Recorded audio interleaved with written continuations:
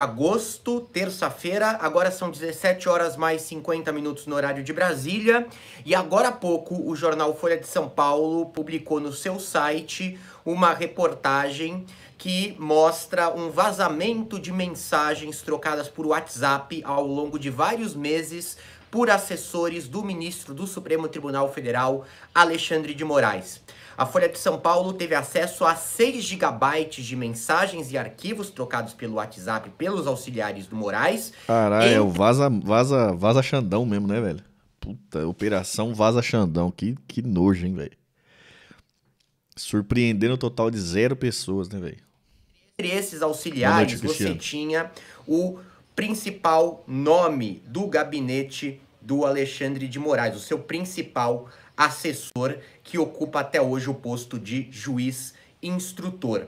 A Folha, ela teve esse material, ela obteve esse material com algumas fontes que tiveram acesso a um dos telefones que continham essas mensagens. Ou seja, a pessoa que forneceu isso à Folha, é, por algum motivo, no celular dela, estaria nesses grupos, nesses locais em que essas mensagens foram trocadas. Ela seria participante desses diálogos. O jornal ele diz que não decorre isso de uma interceptação ilegal ou de um acesso hacker às mensagens, como a gente viu, por exemplo, lá no caso da Operação Lava Jato, em que você teve uma invasão do celular do Deltan Dallagnol e de algumas outras figuras, ok, gente? Bom, a gente ainda não tem uma, uma, uma noção exata do teor de tudo que foi, é, de tudo que a Folha teve acesso. Boa noite, tá, Cristiano. gente? 6 GB pode significar muita coisa. Pode significar milhares e milhares de mensagens, ou pode significar algumas dezenas, centenas e alguns arquivos maiores, ok? É, então é muito. Provavelmente é um material bastante considerável, mesmo arquivos em texto atingirem esse volume, né, esse número de gigabytes. Assim, é, é conteúdo, é bastante conteúdo.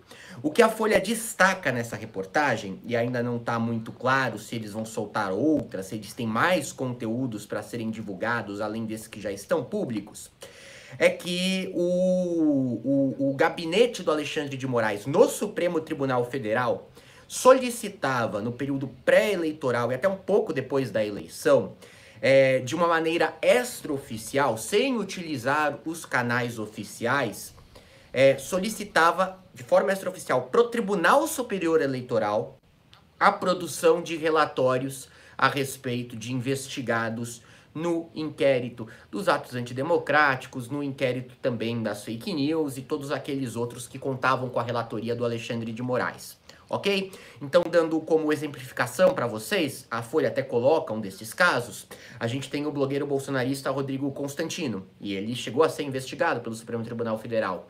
Em certo momento, assessores do Moraes no STF pedem para integrantes do TSE, olha, vocês conseguem ver esses relatórios do Constantino a respeito de proliferação de notícias falsas, né? ou dados a respeito dessa postagem, de onde ela foi feita e tudo mais, tá? E esses dados eram fornecidos. Em alguns casos, havia ali a solicitação por parte do gabinete do Supremo Tribunal Federal para que o TSE fosse atrás de dados, utilizasse ali o seu setor de inteligência para conseguir obter esses dados. Tá legal, gente? É... Então a gente tem aí alguns exemplos dados, esse do Rodrigo Constantino é um deles, né? No caso do Constantino, quem faz essa solicitação é o assessor do Moraes, Ayrton Vieira, ok?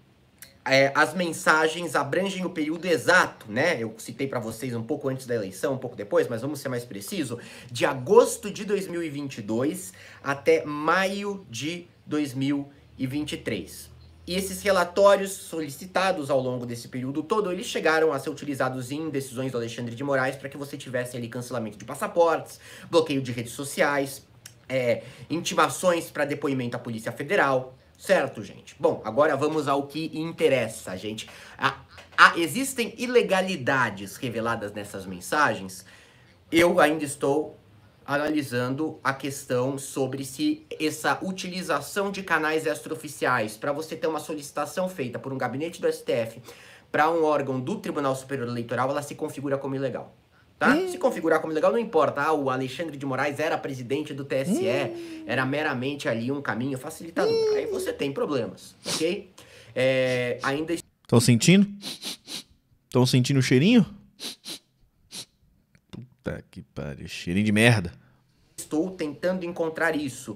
A Folha não chegou a cravar ali, ó. Isso aqui não é um trâmite correto, isso aqui não está previsto dessa forma, não é para acontecer assim. Coloca ali mais como, digamos, num tom de, de, de, de algo que não seria adequado. O tom da reportagem vai nessa direção.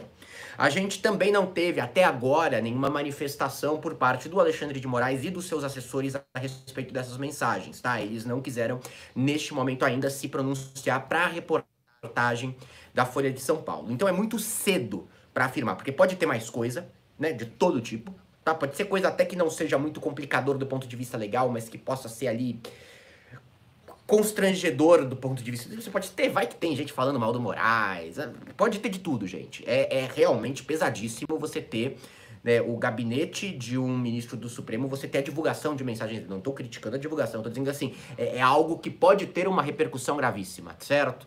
Ainda mais que, ao que tudo indica, é um material bastante considerável. Do ponto de vista de analisar a legalidade, vou olhar aqui com calma ainda. Essa reportagem saiu agora há pouco, eu imagino. Vamos ver essa matéria, vamos ver essa matéria aí, vamos ver essa matéria. Vamos lá. Moraes usou o TSE fora do rito para investigar bolsonaristas no Supremo, revelam mensagens. Outro lado, ministro e seus auxiliares foram procurados e não responderam aos questionamentos. Glenn Greenwald, no.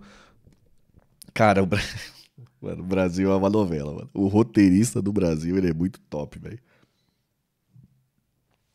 Nossa, mano, o roteirista do Brasil, ele, velho, ele não é, ele não é, ele não é que ele supera as expectativas, né, mano? Ele pega a expectativa e mete um triplo duplo carpado com twist metal, né, na expectativa, velho.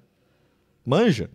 Glenn Greenwald recebeu 6 gigas de vazamento do Xandão, vaza Xandão.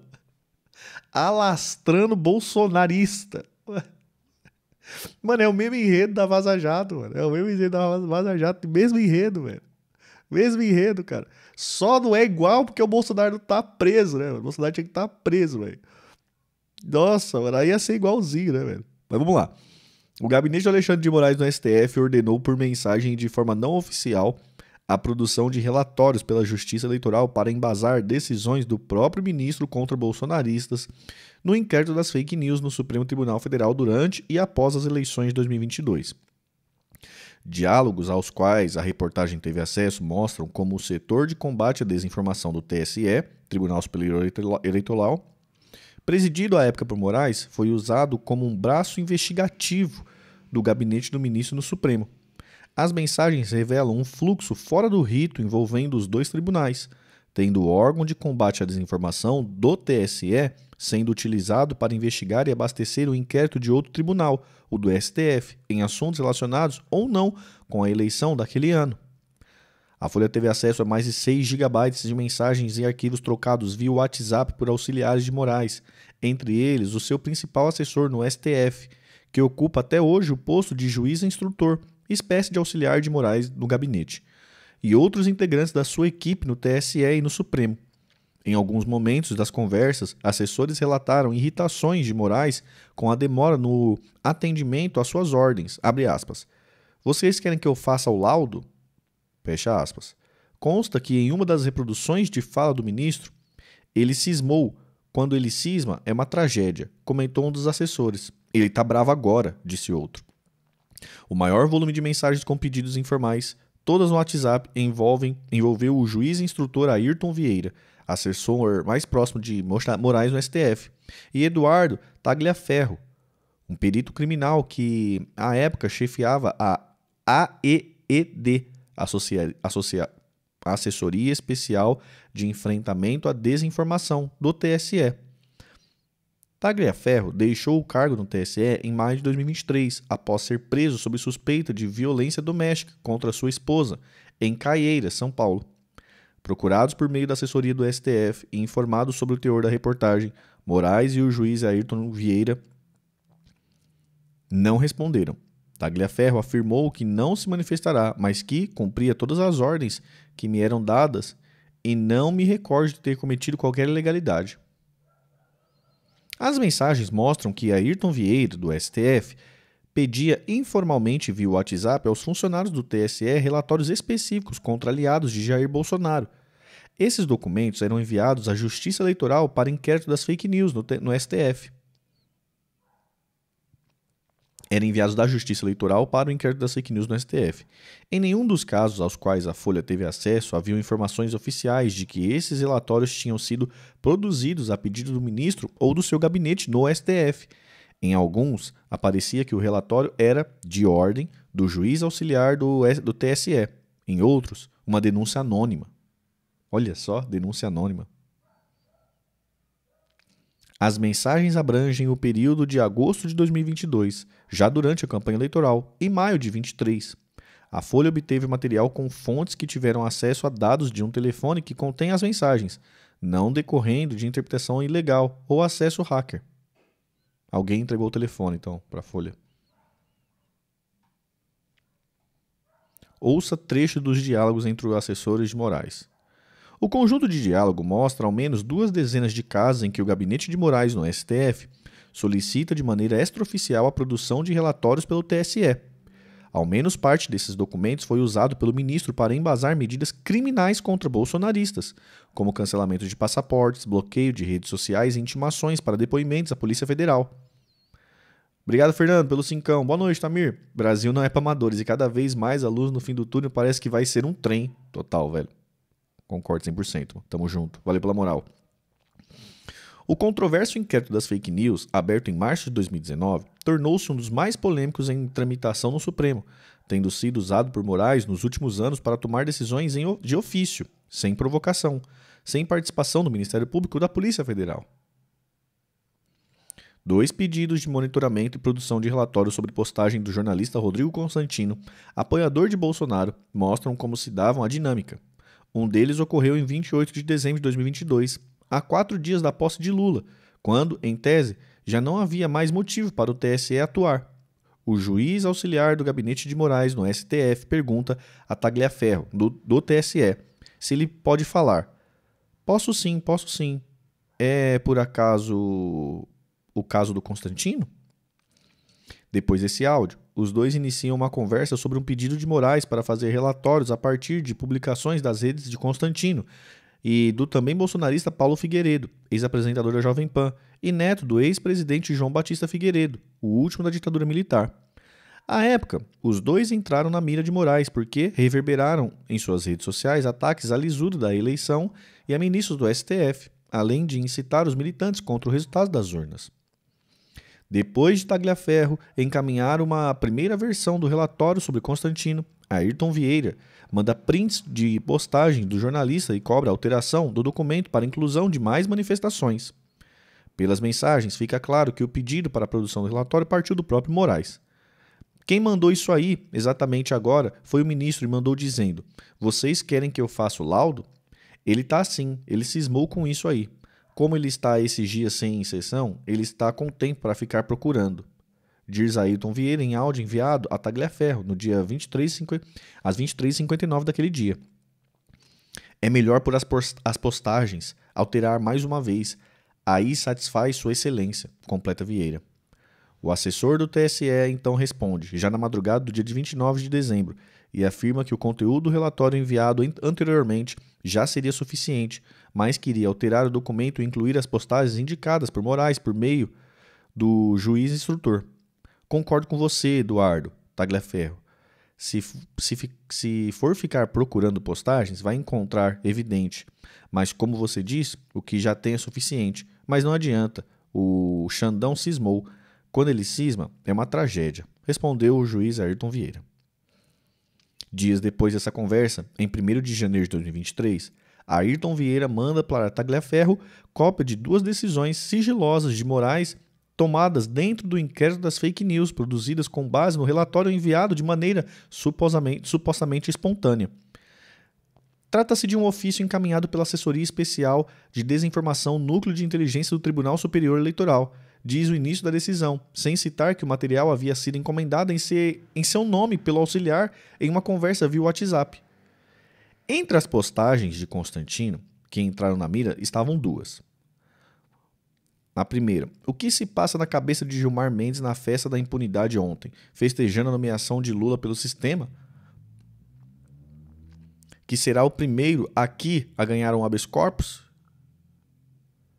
E a outra mensagem: é a primeira vez na história do crime organizado que as vítimas assistem em tempo real a quadrilha se preparando para lhes roubar, conhecem os criminosos e não podem fazer nada porque a justiça, a quem poderia recorrer, faz parte da quadrilha. Palavras duras em Constantino. Nas decisões, Moraes ordena a quebra de sigilo bancário de Constantino e Figueiredo, bem como o cancelamento de seus passaportes, bloqueio de suas redes sociais e intimações para que fossem ouvidos pela Polícia Federal. Cerca de um mês antes, em 22 de novembro de 2022, outro pedido de Moraes sobre Constantino mostra o próprio ministro efetuando a solicitação que chegaram ao órgão de combate à desinformação do TSE. Naquele dia, às 22h49, Ayrton Vieira manda o print de uma conversa com Moraes em um grupo de WhatsApp chamado Inquéritos. A mensagem mostra o ministro enviando postagens de Constantino, uma delas questionando o fato de o partido de Bolsonaro, o PL, não ter feito um questionamento ao TSE. Não fica claro sobre qual o tema. Peça para Eduardo analisar as mensagens desse Constantino para vermos se dá para bloquear e prever multa. Diz a mensagem de Moraes, cujos prints foram enviados a Eduardo Tagliaferro. Já recebi e está para derrubada, responde o assessor do TSE em duas mensagens. Caraca, bicho. Após pedir para Tagliaferro produzir um relatório, como de praxe, Ayrton Vieira e o assessor do TSE discutem sobre as decisões, sobre se as decisões seriam pelo STF ou pelo TSE. Em um primeiro momento, Ayrton Vieira diz que o bloqueio seria dado pelo TSE e a multa pelo STF. Em poucos minutos, no entanto, ele informa que tudo será pelo STF e pede para Tagliaferro caprichar. Eduardo, bloqueio e multa pelo STF, do Rodrigo Constantino. Capriche no relatório, por favor.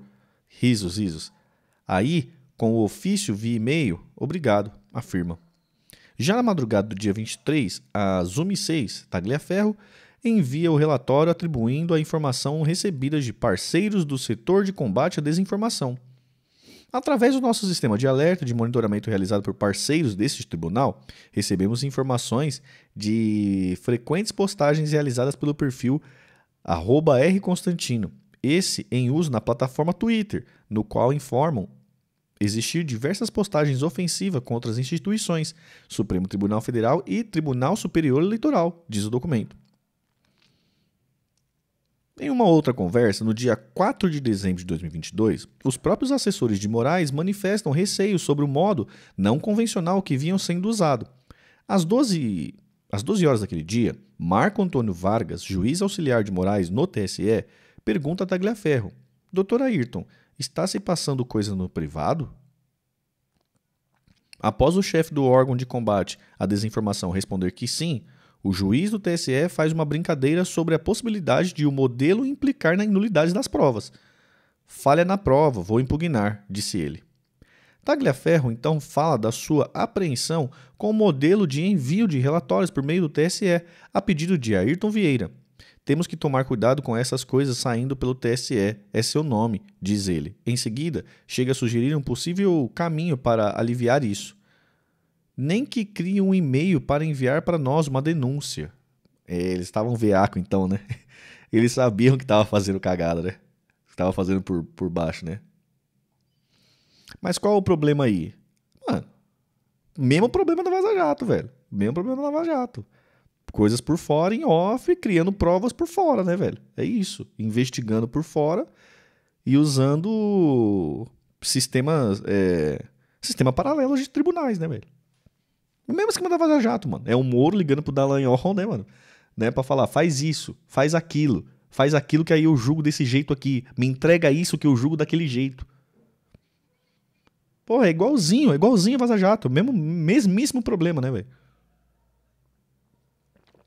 Pro, pra embasar minha sentença, eu preciso dessa e dessa prova. Produz aí. Produz aqui e me envia. Produz aí e me envia. E aí, é pelaquela parte ali, eles, eles até falam, né? Pô, vamos tentar criar um e-mail anônimo para você me enviar essas provas como se fosse anonimado. Anonimato. De onde é essa reportagem? É da Folha, mas o Glenn Greenwald que escreveu. Tem Haddad no chat. Não, para, para, mano. Tem gente sem dar like no. no oh, meu bem. Tem gente vendo a live aqui sem dar, sem dar like. Nossa, mano, isso aí é canalice demais. Isso é coisa de Haddad, mano. Tira esse espírito de Haddad em vocês, velho. Sério, tira o espírito de Haddad em vocês. Dá o like no bagulho, mano. Não, dá o like, dá o like. Pode parar, pode parar. Dá o like. Podemos continuar? O pessoal tá dando like? Ou não? Vai cair o dedo se dá like. Vou taxar essa live em 5 likes, tá? Estão taxando, né? Tá taxado os likes? Tá. Eu vou rodar um ad aí só de raiva. Vou rodar um ad só de raiva pra quem tá com minha sequência no chat. Fernando mandou super chat. O problema é que o inquérito importa tanto o conteúdo, a forma, fora a questão da confusão entre vítima, investigador e julgador. Imparcialidade, total, é total, né? Vamos lá, vamos lá, vamos lá. É, tem, tem pessoal que tá com, tá, com, tá com o corpo fechado mesmo, né? Não vai dar like mesmo, tá bom. Jesus vai castigar vocês. E olha que praga de pobre pega, viu? Cuidado. Vamos lá. A atuação de Moraes à frente do TSE e dos inquéritos do STF rendeu críticas e elogios ao longo do tempo. Um dos períodos mais tensos para os ministros ocorreu recentemente, em abril, quando Elon Musk passou a contestar as decisões do magistrado brasileiro. Nesse contexto, uma comissão do Congresso dos Estados Unidos publicou uma série de decisões sigilosas de Moraes sobre a suspensão ou remoção de perfil nas redes sociais. Com base nesse material, a Folha revelou naquele mesmo mês de abril que o órgão do TSE do enfrentamento à desinformação havia ajudado a turbinar inquéritos do STF. O que não se sabia, no entanto, é que o grupo produzia esses relatórios a pedido do próprio gabinete de Moraes, o que agora é possível saber com base nas mensagens. O inquérito das fake news foi aberto em março de 2019, logo nos primeiros meses do governo Bolsonaro, por ordem do ministro Dias Toffoli, que indicou Moraes como relator. O objetivo, divulgou o STF na época, era apurar fatos e infrações relativas a notícias fraudulentas e ameaças vinculadas na internet que tem como alvo a corte, seus ministros e familiares. Desde o início, quando censurou a revista Cruzoé, o inquérito tem sido alvo de críticas por juristas, mas foi considerado constitucional pelo plenário do STF em junho de 2020. A PGR, ainda sob Raquel Dodge, pediu mais de uma vez o arquivamento do caso, na gestão de Augusto Aras, a Procuradoria defendeu sua participação no inquérito, que deveria mirar apenas fatos relacionados à garantia da segurança dos integrantes do tribunal. É. Putz, e tem mais coisas essas mensagens aí, mano. Parece, né? Parece que tem mais coisas na mensagem. Bom, basicamente é isso, né, mano? O, acho que o Michael perguntou aí, mas se alguém ainda né?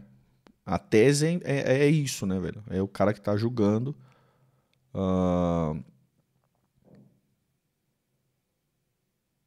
É o cara que tá julgando, né, mano? Ele fica aqui julgando e ele pedindo para um outro órgão de forma informal produzir provas para ele embasar a sentença dele. É, igual, é exatamente o mesmo caso da Vaza Jato, né, velho?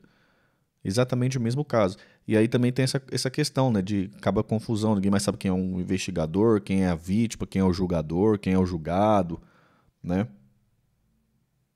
Semana que vem ele solta mais. Alguém gosta de uma série Brasil. Pois é, né? 6 GB de mensagem. Xandão foi de Moro. Não, Sérgio Moro total, né, mano? Sérgio Moro total, velho. Daqui a pouco vai se candidatar para senador. Cara, o Brasil é aquele negócio, né? Tem aquele ditado, né? a história se repete primeiramente como farsa, depois como tragédia, não é isso? No Brasil é o combo, né, mano? A história se repete primeiramente como farsa, depois como farsa e tragédia. se bem que da primeira vez já era farsa e tragédia, né? Farsa e tragédia. Agora isso aí é, é isso aí, mano. Eu vou bater palma para vocês aqui, viu, do chat. Deixa eu bater palma pra vocês do chat aqui. Não pelo like que vocês não dão, né? Mas é que sempre a gente falou, né? Ó, esse negócio do, esse negócio do Sérgio Moro aí, esse negócio tá, tá mais. Ah, mas o Lula é bandido. Ah, mas o PT é quadrilha, coisa e tal. Não, beleza. É bandido, é quadrilha, coisa e tal. Mas, né? Dois certos não faz um errado. Né? O outro tá passando dos limites para pegar o bandido, para pegar o negócio. E isso aí vai dar nulidade, isso aí vai dar merda. Então, nenhum dos dois objetivos vai ser cumprido o bandido, a quadrilha vai continuar impune e o valentão, coisa e tal, no final das contas vai sair desmoralizado e vai descobrir que o valentão, na verdade, é bandido e canalha também. Dito feito. Tá bom.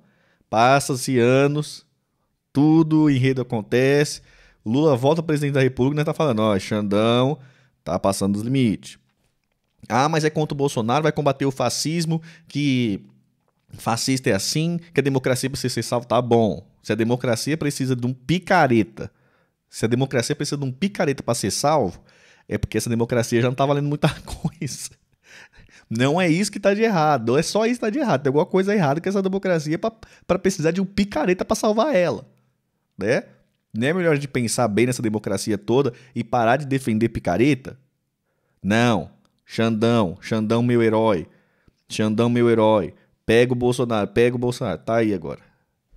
Começa, começa a história. Começa a história a ser revelada como farsa e tragédia ao mesmo tempo. Mas é, é. Dessa vez eu vou tirar o meu nariz de palhaço, né, velho? Porque avisado já foi, né, velho? Tudo para salvar o zumbi do, do PSDB. Acho que tem PSDB com isso. O que, que tem o PSDB com isso? O que, que vocês acham disso aí? Fala pra mim. O que, que vocês acham disso? É farsa, é tragédia, é farsa e tragédia? Todo mundo sabia ou não?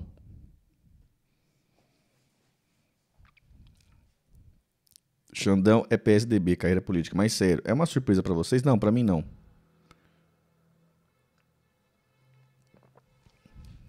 Não, não, para mim não, para mim não. F. Martins mandou cinco reais. Fizeram isso comigo e olha o que deu. Tamo junto, F. Martins. Valeu pelo cincão. Olha aí, tem áudio, ó. Vamos ver o áudio. Não, viu? É que é muita coisa. Eu acabei não colocando tudo, que eu coloquei outras coisas que falavam mais. Áudio. Eu ver, eu acho que não, viu? É que é muita coisa. Eu acabei não colocando tudo, que eu coloquei outras coisas que falavam mais de de um 4-2 do que isso. Que foi o que ele pediu, né? Mais um 4-2. Se o senhor falar, eu altero. Talvez seja mais interessante colocar, Eduardo, alterando, pelo seguinte: quem mandou isso aí exatamente agora foi o ministro.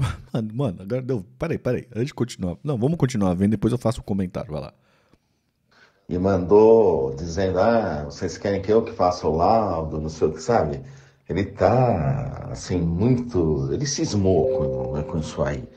E como ele tá esses dias sem sessão, sem isso, sem aquilo, ele tá com tempo para ficar, entendeu? Procurando, né?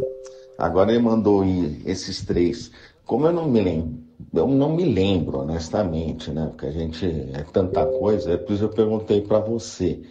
Mas se não, talvez seja melhor pôr, tá? alterar mais uma vez, fazer o quê, né? Que aí satisfaz sua excelência, tá bom? Obrigado. Então, mas tem coisas que fundamentam, ele quer que coloque mais ainda. Na verdade, ele quer que ele coloque o que ele acha, né? Mas o que tem é mais que. Eu altero, o que tem é mais que, que, que essencial para isso. Eu vou alterar aqui rapidinho. É, concordo com você, Eduardo. Se for ficar procurando, Vai encontrar, é evidente, mas o que você disse, o que já tem é suficiente. Mas não adianta, ele cismou, entendeu?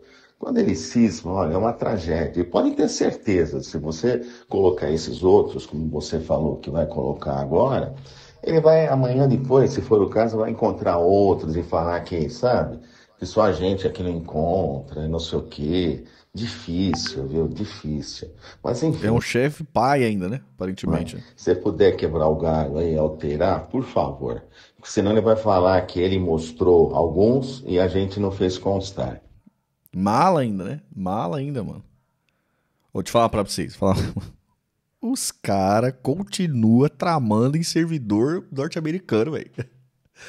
Os caras não aprendem nunca, velho. Os caras não aprendem nunca que não dá pra conspirar com nada que envolva servidor americano. Os caras não entendem, mano. Não entende, velho. Tudo bem? Seguinte, é... conversando com a Cristina, ela pediu que a partir deste relatório e desse em diante, tá? Onde você coloca Supremo Tribunal Federal, coloque, por favor, Tribunal Superior Eleitoral. O número do processo nunca ficar em aberto, colocar no caso desse e dos próximos, a não ser que tenha alguma outra contraindicação, o 4781, tá? E de ordem, colocar como de ordem é, do doutor Marco Antônio, tá? Por quê? Porque atualmente o ministro passa por uma fase difícil, qualquer detalhe, qualquer peninha pode virar amanhã depois mais um objeto de dor de cabeça para ele, tá? Então, ficaria para todos os fins, que é de ordem dele, do doutor Marco, que ele manda enviar, né? É para a gente, aí é tudo bem. Ninguém vai poder questionar nada, etc. Falar, mas de onde que surgiu isso? Caiu do céu? A pedido de quem? E etc. Né? E colocar em cima, repito, o Tribunal Superior Eleitoral, processo como nesse aqui já que você mandou, por favor, 4781, e de ordem do Dr. Marco Antônio Martim Vargas, juiz, eu não sei qual é o cargo que ele tem do, no TSE, né? Mas, enfim, juiz, auxiliar, o juiz, praga. enfim, né? É, do Tribunal Superior, da Presidência, enfim, por favor, tá? E eu aguardo outra via. Muito obrigado. Boa noite, Eduardo. Tudo bem? Seguinte, é. Cara, puta que pariu. Puta que pariu. Puta, isso não pode. É como você alterar os relatórios e provas para ficar de acordo com a sentença que o juiz quer dar. Cara, isso é surreal, isso é surreal, isso é surreal. Os caras os cara, os cara lastram, velho. Não, e os caras falaram mano, Bolsonaro vai, já tava grandão, vai sair grandão. Pior que vai mesmo, mano. Nossa, o Bolsonaro vai ficar grandão agora, velho. Escuta o que eu tô te falando, mano. Bolsonaro vai ficar gigante agora, velho. Nossa, mano, essa narrativa do que ele é um perseguido, coisa e tal. Nossa, e vai corroborar com aquele negócio de urna fraudada, que, que eleição é fraude, que os caras, mano, estão tudo no esqueminha. Nossa senhora, vai ser o um inferno, velho. Prepare-se para dias do inferno, velho. Não, não, vai ser, vai sair grandão, velho. Tamirzão, quer ver a aula trabalhista que o Xandão tomou também? Mandei no Apts. Vejo, vamos ver. Acho que amanhã vai ser um dia de dor de cabeça pro ministro. Será? Vai, mano. Vai. Isso o Bolsonaro já não apareceu aí já, né? Deixa eu ver se o Bolsonaro já não se manifestou. Nossa, ele vai sair grandão. Vai, vai, vai, vai, vai, vai ficar grandão. Tipo aqueles galo. Cadê? Ele não apareceu ainda não, pelo menos no Twitter. Apareceu ainda não. O Sonar ainda não apareceu não, mas daqui a pouco vai aparecer. Cara, que loucura, hein, velho. Vamos aguardar aí cenas dos próximos episódios, mas tem mais coisa, hein, mano. Vai ter áudio pra cacete ali pelo visto, né? Gente do céu. Agora é a vez dos lulistas pedirem a prisão do Glenn Greenwald depois desse ter sido essencial para levar o Lula das condenações? E agora é a vez dos bolsonaristas celebrarem o Glenn depois de terem pedido a prisão e extradição dele do Brasil? E eu só pego a minha pipoca. Cara, que via. Que loucura, hein, mano. O que, vocês acham disso, gente? Bolsonaro tem que ficar calado, deixar o negócio ir por conta própria. Tem que ficar de bico fechado, se não é capaz dele fazer merda e o negócio virar contra ele. Não é sequer que ele está perseguindo, mas de quem tá lá dentro, tá nem aí para a Constituição e de Estado de Direito. Então, qual moral eles teriam para reclamar que Bolsonaro queria dar golpe? Tem mais isso ainda, Tomás. Tem mais essa narrativa, né? Como é bom ter um jornalista. O Glenn tem contato na CIA, inacreditável, inacreditável, cara. Não, se contar pros. Mano, não, não. Se contar pros netos, pros bisnetos, não acredita, não, velho. Não acredita, mano. O que, que vocês acham disso, gente? Quero o comentário de vocês, mano. Desce o dedo no comentário, velho.